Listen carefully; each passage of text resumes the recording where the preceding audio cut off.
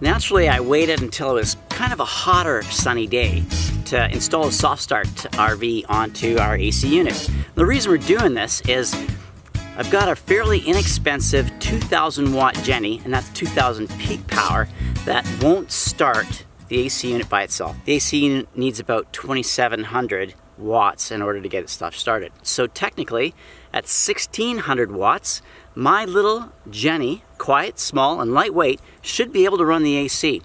So that's what we're doing today. Now, step one, you gotta get on the roof. And as you can see, I've already taken off the cover. If you need to, you might want to find the model number if you don't have the manual for it, but there's an actual plate on the side here, and it will give you the model number, and then you can actually look that up to get the wiring diagram and installation instructions on Soft Start. Barring that, take the wiring diagram that's actually on the inside of the plate that allows you access, and you can use that then to figure out which one of the installation instructions match up to Soft Start RV and they are fairly simple. Now, my electrical training consists of putting AA batteries in the correct orientation inside of a television remote. So I'm going to show you how easy this is to do here today. And um, Soft Start says it's only going to take 60 minutes. We're going to find out if that's true or not. When you usually take this cover off, it might look a little bit intimidating, but most of the stuff in here is pretty basic. You'll recognize a fan, you'll recognize the motor. Uh, this is the compressor that runs the AC unit, and inside here you can see it does look a little intimidating with a massive mess of wires. The thing is, most of these don't concern us. So what we're looking for are the three wires that come off of the compressor. And usually, with a little bit of wiggling, you can figure out which three you're interested in. And in this case, it's a red, a white, and a black, and that's this three right here. All the rest we can get out of the way because we don't have to play with those. So now we've eliminated most of this wiring confusion. The instructions from Soft Start RV are actually pretty straightforward. You just follow them one at a time, and that's what we're going to do today. Step one is going to be to remove the putty that's around this pile of wires and stick our soft start RV wiring through this hole. Don't throw this out. Hang on to that putty because we're going to use that again to block up that hole once we get our wires through. So just to make it a little easier for us, I've taped some of the wires that uh, we are not going to use or be bothered with, just to get them out of the way. Step one is we're going to follow the white compressor wire, give it a little wiggle, yeah, we got the right one, and follow it down to the run capacitor and disconnect it. And I loosened it up a little bit. It did take a little bit of a wiggling. And now that we have that white compressor wire, we're going to connect it to the blue wire from Soft Start. And again, I'm just reading from the instructions here, so let's see how we do. You will need a couple tools to get this job done. It's nothing fancy. We're going to use a set of crimpers, needle nose pliers just so we can cut the wires easily. And uh, you can never go wrong with having some black electrical tape along. So I've cut the uh, terminal off of there and then we're going to connect the white and blue wire with the little piece of hardware that's supplied by Soft Start RV. Twist them together, put on the cap, use your crimpers to give it a little pinch right about there, and it's all set. Then just give them a tug, make sure it's secure, and it is. And uh, just because I'm paranoid, I'm going to put a little bit of black electrical tape around the bottom here too. Now step two is we're going to take the black wire from Soft Start and we're going to connect it to where we just pulled the white wire off on the run capacitor.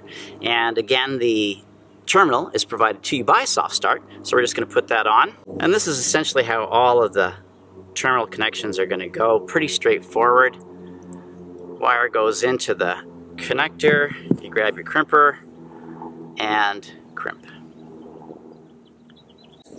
And then give it a little tug to make sure that you did a good job. Now, you can and you actually should.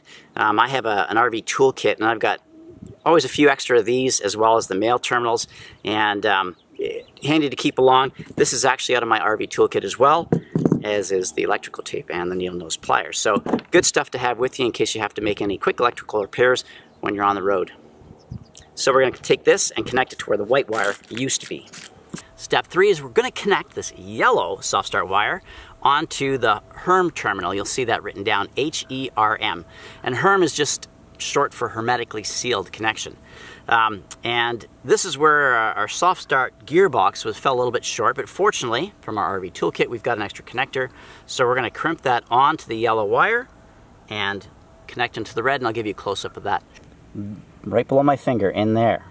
Now at the same time, the next step, we're going to skip ahead just by one. In instructions it says if you have if you have a second red wire on that run capacitor, which we did, pull it off and wrap it in tape and drop it, which is what we're going to do. And with that out of the way then, we can connect our soft start yellow wire onto that terminal. And so hopefully now you can see that we've got our red compressor wire in there and our own yellow soft start connected next to it. Step five in the process is to find that black compressor wire and we're going to connect it to the brown soft start wire. Now in our diagram the black compressor wire goes to a relay that we can see. In this case uh, ours doesn't. The black goes to a purple wire so we're going to cut both of those, connect the black and brown and our final step is to connect the red wire to where the black compressor wire was, in this case the purple wire.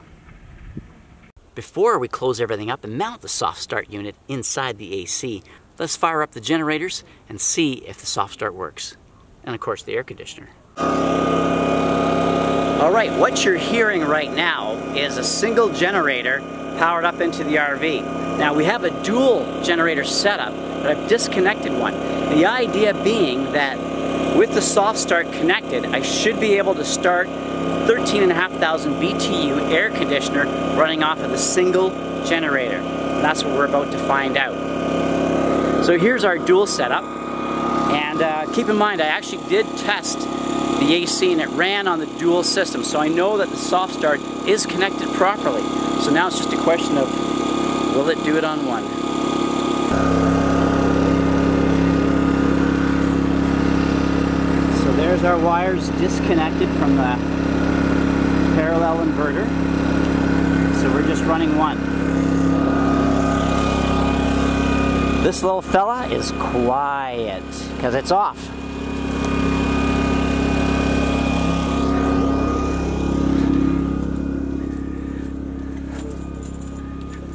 All right, here we go.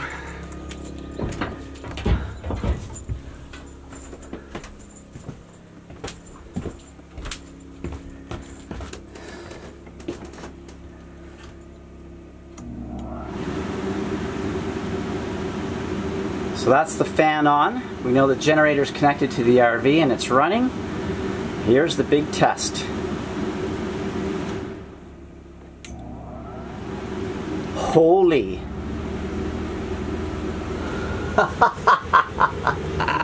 yes.